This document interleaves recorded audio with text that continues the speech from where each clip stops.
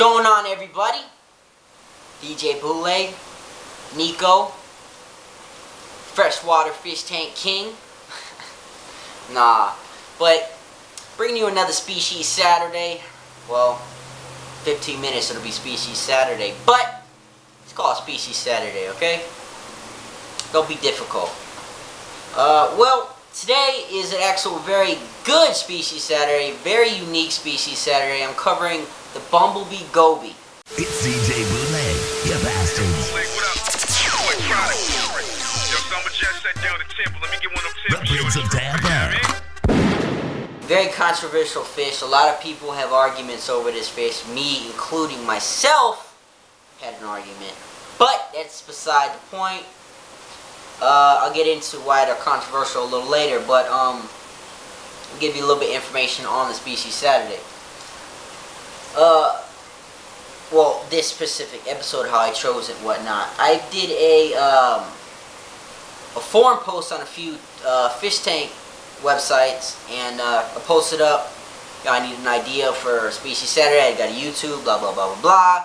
Here's the fish I have, so pick one.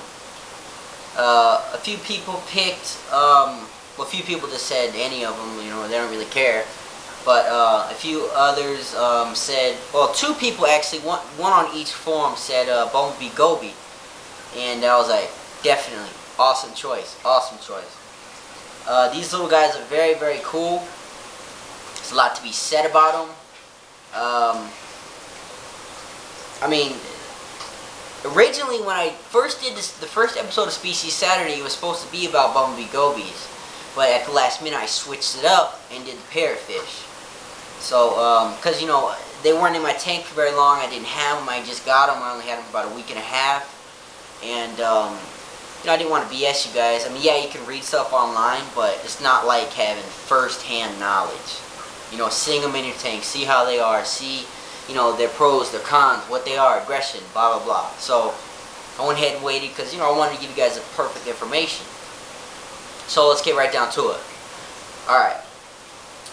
Uh, well, Bumblebee Goby, uh, first off, let me just say, I've had the fish now for about a month, month and a half. I know how they are. I originally uh, bought two. About a week later, I bought two more. But I ended up returning two of them because I noticed, you know, they were a little uh, territorial, a little bit aggressive towards each other, which I'll get into a little while. And uh, they're very, very, very picky eaters, which again I'll get into in a little while. And uh, they're they're a little bit difficult, difficult fish. You don't want to just get like a whole bunch of them, throw them in a tank. You want to get one or two, just to, just to get the feel for it. And unfortunately, one of them died about a week and a half ago, about a week or week and a half ago. And um, the other one's doing fine. I just seen him the other day. And uh, anyway, so uh, let's get started. Alright, so the controversial part I was speaking about just a few seconds ago is that there's there's a few varieties of, of gobies, but the bumblebee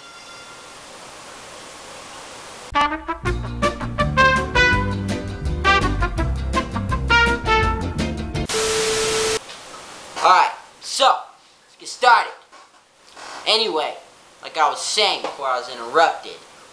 Uh, let's see, where was I? Oh yeah, controversy. Controversy with this little tiny cute fish is, uh, there's two, there's a lot of different species of gobies. And, uh, some really, really cool looking ones. And, you know, the ones I got now get a little bit, the one, there, there's a few that get bigger in whatever. But, um, two two species of the goby I'm going to focus on here. One in which is uh, bumblebee goby, and the other one is the gold-banded goby. Now, this isn't a two-for-one species Saturday, but I am going to tell you a little bit about both, just because of the controversy. I've had numerous amounts of people I've read, I've encountered people trying to tell me I don't know what I'm talking about. Um, you know, people online asking if they're brackish or fresh. Uh, the one that you see behind me, you probably can't see him, but uh, the one I'm talking about is a bumblebee goby. Bumblebee gobies are in fact fresh water. Despite what you hear from your fish store, or you know, the guy next door that has a 10 gallon tank with five gobies in it, bumblebee gobies are 100% fresh water.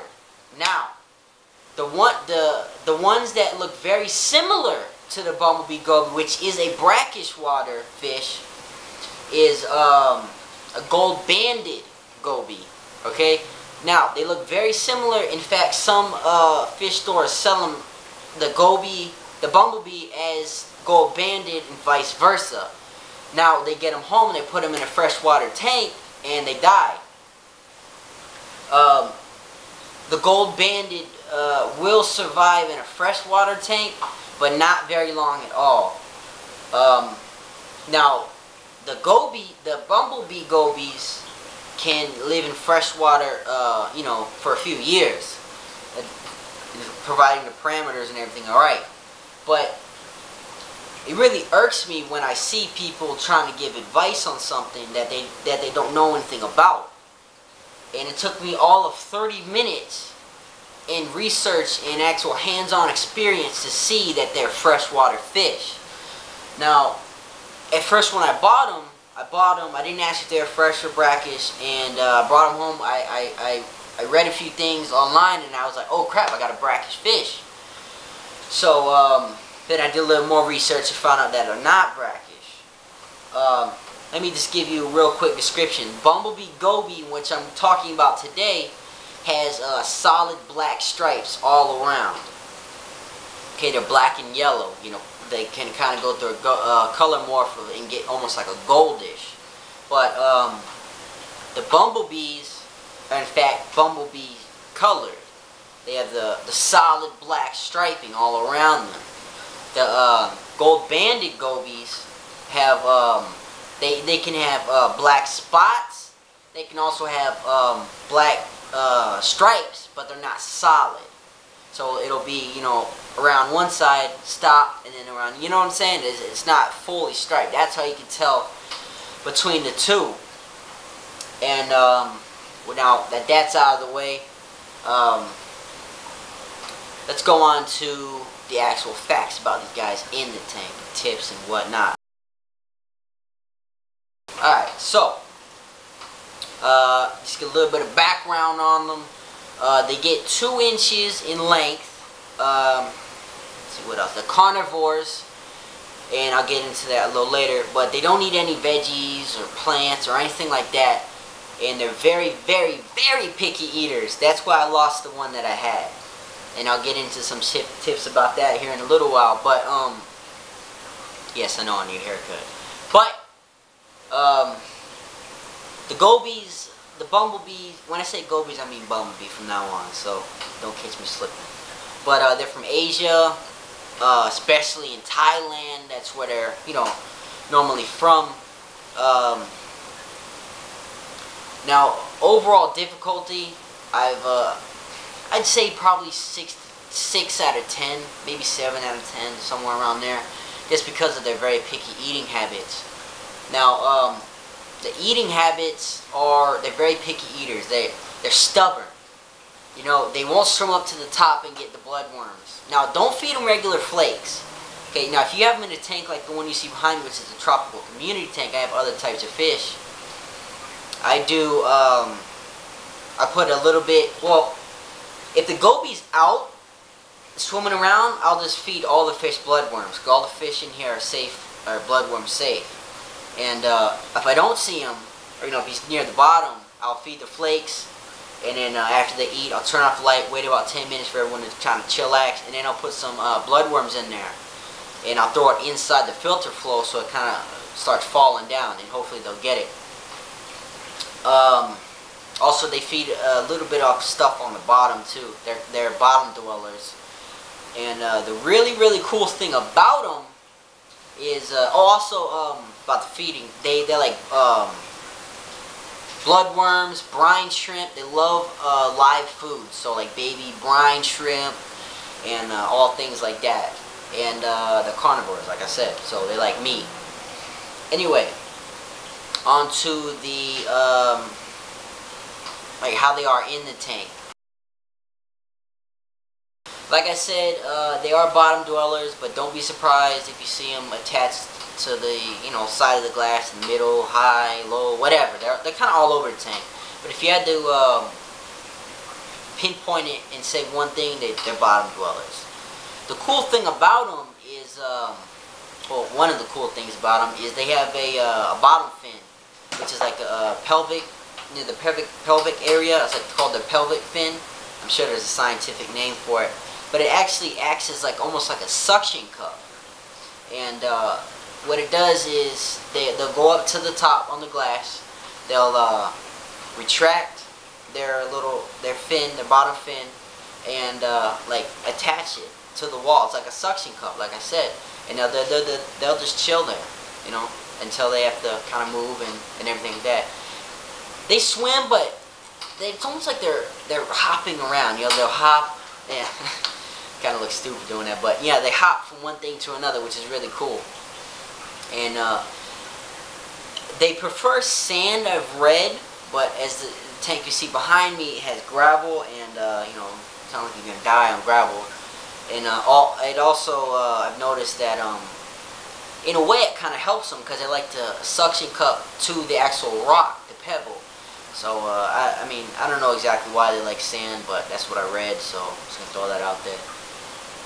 Um, they, like I said before, they are territorial. Um, they can be aggressive towards their own kind. They're not territorial to any other fish, but uh, they can be somewhat aggressive to their own kind. So just keep that in mind. Tank requirements is 10 gallon minimum. I'd only recommend one goby per 10 gallon, though it says on certain sites that you can do two per 10. But uh, I just recommend one per 10. And um, that's why I returned the other ones that I had, because uh, I had four, and this is only 20 gallon tank, so yeah. I mean, technically it's okay, but I just didn't feel right with it. I didn't want to kill the fish, so yeah, that's about it about the uh, tank requirements and how they are inside the tank. So let's go on to um, the uh, water parameters. Alright, so water parameters, most important part to any aquarium. Screw the decorations, screw this, screw that. Water parameters is the number one most important thing. Okay, uh, water parameters. Uh, the temperature, it, well, I already mentioned the tank uh, size and all that. Water temperature should be 73 to 85. Uh, the one you see behind me is set at 78. And uh, they seem to like it just fine. The pH can vary from 7 to 8.5, so, you know, not really uh, too fragile there. It's not where the difficulty comes into. The difficulty comes into the feeding because they're so picky. Uh, let's see if I am missing anything here on my notes. Just some tips for you. Uh, they do like um, a lot of live plants because they are kind of shy. They take a while to fit in. When you take them home, introduce them with the lights off for you know a couple hours, and then turn the light on, or even overnight is fine. Uh, it took about a week for them to fit in. I mean, sometimes I'll even come up to the tank and you know make sure all the fish are fine. I can't. I don't know where this guy is. I don't know where he is. I've like looked everywhere, and then next day I'll come and he's attached to the wall. So don't be don't be too afraid if you can't find him because they they hide really well. Just see if you have some hiding spots. They like driftwood. Uh, unfortunately, I have driftwood in back here. They stay two inches at the maximum. Uh, they don't get big at all. B. nunus, B. nunus, I don't know really, I don't know how to say it, but that is the scientific name for the, um, well, part of the scientific name for the uh, gold banded goby, which we already talked about. That's the brackish. Bumblebee goby is what we're talking about today. That is 100% fresh water. Okay, and that is about it, guys. Hopefully you guys enjoyed the video. Um, Hopefully you guys enjoyed the video, man. More to come. Hit the like button, subscribe, drop a comment. Peace! Alright. What you see over here to my right is uh, scrolling text is the fish that I have now. I have six tanks, so I have a lot of species. So, this is the third episode. For the fourth episode, I want you guys to pick which species you want to see for the species Saturday, okay? It can be anything from the common fish to an advanced fish. So drop a comment below. My freaking phone's ringing, so I gotta go. But um, pick the ones in red are the ones I've already done, and also down in the description, one with the star bite is the ones I've already done. So that's it. Make sure you drop a comment what you want to see. Peace out, guys. God bless.